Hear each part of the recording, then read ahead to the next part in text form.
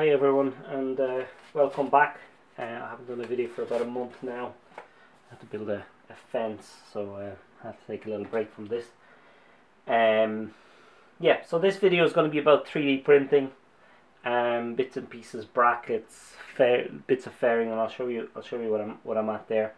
Um, I got a question there about the 3D printing, so I said might as well cover that. I kind of brushed through it last time. Um, and and I'll tell you I'll tell you why I'm doing it. Um, so okay, so here's the seat. I had to make up this little bracket to kind of to keep the seat steady. Now there is two brackets that bolt on. I put in a third one at the at the end and one at the front that kind of clips in. Um, but I just wanted one that kind of is almost like a like a pivot point where you just click in. Um, and as you can see, I had to add on a, an extra bar. Now I know most people are probably thinking, Jesus, massive um, massive tray. Um, it is a big tray um, but it doesn't really matter because you won't see it. Um, and plus I've loads of space. I've loads of room to put all this stuff. Um, you know I'm not just going to throw it into a, a, a, tray and close up the seat and, and just forget about it because things are going to be flying around the place. And as you can see you've got the, the fuel pump um, you've got the solenoid for the starter you've got an indicator relay you've got this uh, diode um, obviously the battery um, and the last last thing that I actually wanted because the battery is is deep in kind of under the tank I won't be able to get to it. So I wanted to wire out one of these little ports um, so as you can see I've, I've drilled it there. I, apologies. Um, I drilled it there and it goes in. Uh, and again that will be well hidden. You won't actually see that. Uh, I've, I've primed this again because I got it got a bit scratched while I was um, while he's doing bits and pieces. Now I also I also had the battery, oh sorry, the the mount for as you can see there, um, for the reg, um, connectors, all that kind of stuff. Um, so there's a lot of stuff that goes onto this tray. Also the my exhaust, my exhaust mount is there, um, bolts on.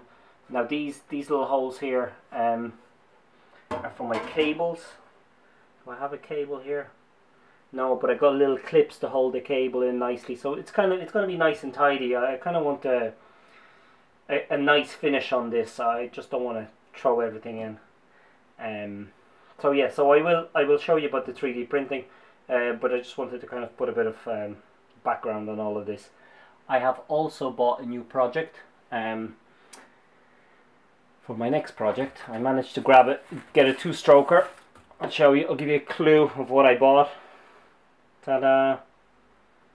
Yeah, so she's waiting there. Um, it's kind of similar enough to the Bros. It's it's in bits. Um, so yeah, so I'll I'll get onto that next after this project because I've loads of little things, but nothing big now left on this bike. Um, so I'll show you things that I'm going to 3D print. Um, this will bolt on. That's fine. I found a home for it. Um, this um, starter um, solenoid so that kind of has two prongs that go out. So what I'll do is I'll get something 3D printed for that. Um, so I can bolt on here to the side. Um, what else? Uh, something to hold on again, something similar to hold on the, the relays. Um, kind of everything has a home. Also, I will fuse this. Um, don't just wire this without fusing it. Um, you will end up uh, um, sooner or later some water or something will get in. It'll anyway cause a fire. So I, I would fuse anything like that I would fuse. I'm also going to have to extend the length of this cable. So I've got new cables um, and I'm just going to put on a um, a new lug on, on top of it so I'll make it whatever length. And also because the tray is slightly different to the way it was originally done, my my negative will also have to be longer so I will do that as well. Um, but anyway, this video is not about that, it's about 3D printing. So let me just clear all this off and um, and I'll show you what I do um, about this 3D printing. Okay, so for those who are concerned about this massive tray that I've made, um, I had a plan for it. So it does follow this line here. So the, the tray is actually just a little bit south of that. Um, so here's my little fairing that I made for myself. Um, as you can see, that's the idea of it is to close in that gap. Now I still have to take a little edge off it so it, it gets a little bit tighter in there.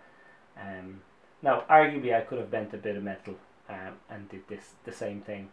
Um, but I just I'm just trying out something something different something that I'm not used to um, to see how it works out. Now with the with the clocks I had to take a, about a mil off the off the front of it. And this is super strong stuff lovely and flexible um, so once I take that mill off it, it'll be perfectly straight and I'll be able to either wrap it um, or what I'll do is I'll just paint it. I'll prime it and I'll paint it and I'll use plastic primer because uh, that's what this is, it's just plastic. Um, but it's going to be quite durable anyway, so um, yeah, so that's the idea. Um, so look, let's take the orbital sander, let's take a, a little edge off this um, and yeah, right, let's get finished. Okay, so I'm just going to put it at an edge so it doesn't move for me. And I got myself a piece of yoga mat. Um, my wife will be very impressed the fact that I chopped up her yoga mat. So, um, But it, it does the job, otherwise it, it goes all over the place and it's, it's hard to keep it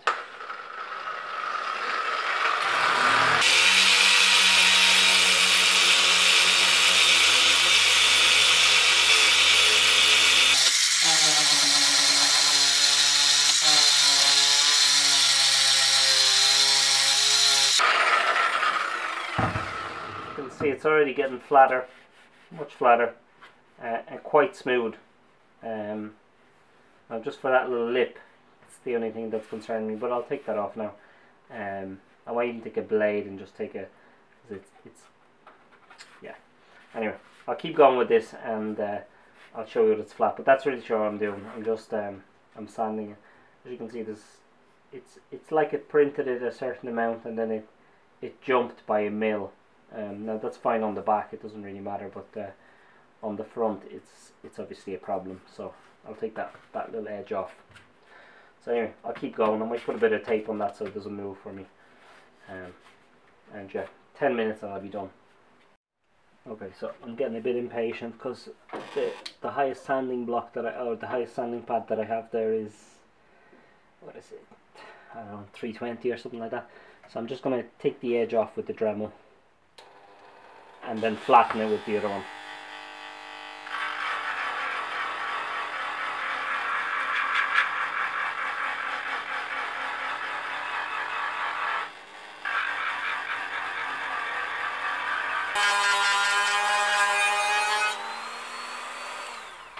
Okay, that's pretty close.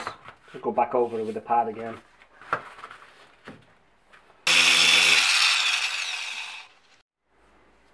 Okay, so I'm more or less done as you can see there's no no big ridge there. Uh, now on a paint job any kind of imperfection will show up. So I do have to get this a little bit more but not much more. Um, so I'm nearly there. Uh, as you can see that while whatever whatever happened in the print it actually shifted left.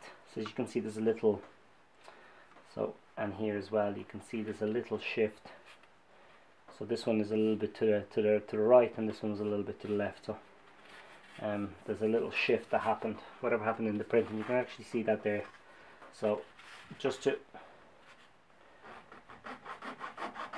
just to get that right I'm just going to file it off.